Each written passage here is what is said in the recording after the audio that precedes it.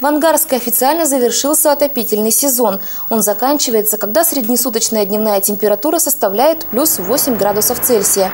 Первыми батареи отключили в жилых домах, затем последовали школы, детские сады, больницы и другие бюджетные учреждения. В ближайшее время будет сформирован штаб по подготовке к следующему отопительному сезону.